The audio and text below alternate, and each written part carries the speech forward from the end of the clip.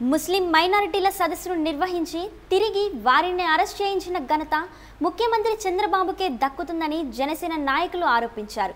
గుంటూరులో ఆ పార్టీ కార్యాలయంలో నిర్వహించిన విలేకరుల సమావేశంలో ఆ పార్టీ నేతలు మాట్లాడారు. గుంటూరు తూర్పు నియోజకవర్గంలోని బ్రహ్మానందరెడ్డి స్టేడియంలో నిర్వహించిన నారా హమారా టీడీపీ హమారా సదస్సులో మొద్దు నిద్రపోతున్న టీడీపీ ప్రభుత్వాన్ని ప్రశ్నించినందుకు అక్రమంగా తొమ్మిది మంది ముస్లిం యువకులపై కేసులు పెట్టి జైలుకు పంపించిన చంద్రబాబు నాయుడికి రానున్న ఎన్నికల్లో తగిన బుద్ధి చెప్పేందుకు ముస్లింలు సిద్ధంగా ఉన్నారని అన్నారు. కుట్రపూరితంగానే వారిపై దేశద్రోహం కేసులు బనాయించడం ఎంతవరకు సమంజసమని అన్నారు. ఇప్పటికైనా పోలీసులు టీడీపీ నేతలు అక్రమంగా పెట్టిన కేసులు ఎత్తివేయాలని వారు డిమాండ్ చేశారు. పద్నాలుగో సంవత్సరంలో ఒక మతతత్వ పార్టీ అయిన బీజేపీ అధికారం అప్పచెప్పింది అప్పటి నుంచి దేశంలో అన్ని మూలలో ఉన్న ముస్లింస్ మీద చాలా రకాల అరాచకాలు జరుగుతున్నాయి దౌర్జన్యాలు జరుగుతున్నాయి అత్యాచారాలు జరుగుతున్నాయి.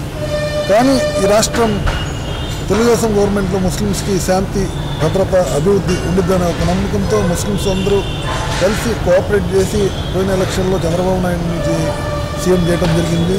కానీ మన ముస్లిమ్స్ జాతి దరిద్రం ఏంటంటే ఆయన కూడా బీజేపీకి తక్కువ కాదేమని చూపించాడు. దానికి ఉదాహరణగా ఈ నెల ఇరవై ఎనిమిదో తారీఖున గుంటూరు బ్రహ్మానంద రెడ్డి స్టేడియంలో హారా హమారా టీడీపీ హమారా అనే ఒక పెద్ద బహిరంగ సభ జరగడం జరిగింది. ఆ బహిరంగ సభ టీడీపీ తెలుగుదేశం పార్టీ ప్రభుత్వం ముస్లిమ్స్కి ఎలాంటి అభివృద్ధి పథకాలు ఫ్యూచర్లో తెలియజేసిద్దో ఎలాగ ముస్లిమ్స్ని అభివృద్ధి పథకంలో నడిపిద్దో అనే ఆశతో చాలామంది ముస్లిమ్స్ ఎదురు చూస్తూ తమకు కావాల్సిన సీఎంతో కోరుకుందామని ప్లే కార్డుల ద్వారా కూడా తెలియ తెలియజేయడానికి వచ్చారు. ఎక్కడో నన్ను వచ్చారు సీఎం గారికి చూపిస్తే దాంట్లో ఫ్లే కార్డులో క్లియర్గా ఉంది. మీరు టీవీ వాళ్ళు చూడండి. ఒకటి దరఖాస్తులు పరిరక్షించమని ఫ్లే కార్డులో ఉంది. రెండు మద్రసాలకు వెళ్ళే విద్యార్థులకు ఉచిత బస్సు సౌకర్యం కల్పించమని ఉంది. మూడు ఉర్దూ అకాడమీకి సంబంధించి ఉంది. ఈ ఫ్లే కార్డు వాళ్ళ కోరికలుగా వాళ్ళు తెలియజేయడానికి వస్తే వాళ్ళ మీద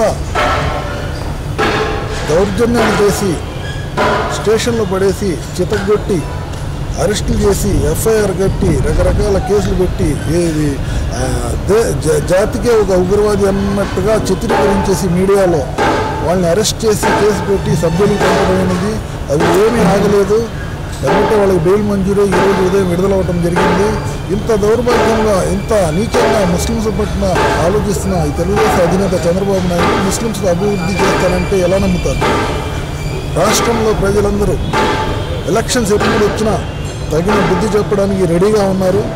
ఎలాగైతే శిశుపాలుడి వంద తప్పులు జరిగినాక శ్రీకృష్ణుడు శిరచ్ఛేదం చేశారు అలాగా చంద్రబాబు అనే శిశుపాలుని ఓటు ద్వారా శిరచ్ఛేదం చేయడానికి రాష్ట్ర ముస్లింలు అందరూ సన్నద్ధంగా ఉన్నారు. ఎప్పుడు ఎలక్షన్స్ వచ్చినా తగిన బుద్ధి జరిగి బుద్ధి చెప్పి తెలుగుదేశం రాష్ట్రంలో ఓటుని చెందడం ఖాయం. అలాగే చిన్నబాబు లోకేష్ మా నాయకుడైన పవన్ కళ్యాణ్ మీద అంటారు లోకేష్ బాబు నేను మా తాత పోలికలు మా నాన్న ఆదర్శాలతో అవినీతి చే లేని మచ్చ మచ్చలేని నాయకుడుగా రాజ్యాన్ని పరిపాలిస్తున్నాము నా శాఖ నా మంత్రిత్వ శాఖని పవన్ కళ్యాణ్ గారు నా మీద అవినీతి పరుడు నిందేశారు గవర్నమెంట్ రివ్యూ చేయండి అంటున్నారు. నేను అడుగుతున్నా మిమ్మల్ని. ఆరు లక్షల చదరపు అడుగుల్లో ఆఫీస్ కట్టారే వెలగపూడిలో అడుగు పన్నెండు వేల రూపాయలు చెప్పిన మీరు కాంట్రాక్ట్ ఇచ్చారు కంపెనీ వాళ్ళకి కాంట్రాక్టర్స్కి దాంట్లో లోపాయకారు ఒప్పందం చేసుకుని అవినీతికి పాల్పడ్డారా లేదా? దీనికి సమాధానం మీరు చెప్పండి లెక్కలు తేల్చండి. ఎంత లావిష్ చేసుకున్నా ఐదు వేల రూపాయల్లో అడుగు అపార్ట్మెంట్ కొన్నా వచ్చేసిద్ది. ఒక్క బట్టలు తప్ప అన్ని ఫర్నిచర్ మొత్తం తెచ్చేస్తున్నారు వాళ్ళ ఫుల్ ఫుల్లీ ఫర్నిష్డ్ అపార్ట్మెంట్ మీరు అలాంటిది పన్నెండు వేలకి ఎలా ఎలా ఇస్తారు? ఆరు లక్షలు అంటే ఎవరి సొమ్ము? ఈ రాష్ట్ర ప్రజలది ఆ సొమ్ము. మీరు లోప ఒప్పందం జరిగిందా లేదా? నేను జరిగిందని చెప్తున్నాను. మీరు దాన్ని ప్రూఫ్ చేయండి. దాని మీద శ్వేతపత్రం రిలీజ్ చేయండి.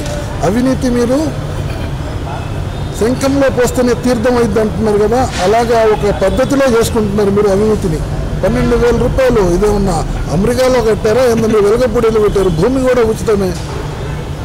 నా చల్లపల్లి మాటల్లో చెప్పి అమరావతిలో ఉన్న ల్యాండ్ పుల్లింగ్ ద్వారా రైతుల భూములు హక్కును మీరు కట్టారు. ఇలాంటి అవినీతి పరుల పరులను ఈ స్టేట్లో నుంచి ముస్లిమ్స్ ఒక నారా ద్వారా రాష్ట్రగా బచావ్ టీడీపీగా భగావ్ అనే స్లోగన్తో ఈ రాష్ట్రం నుంచి టీడీపీని తరిమి తరిమి కొట్టేదాకా ముస్లింస్లు కీలక పాత్ర వహిస్తారు.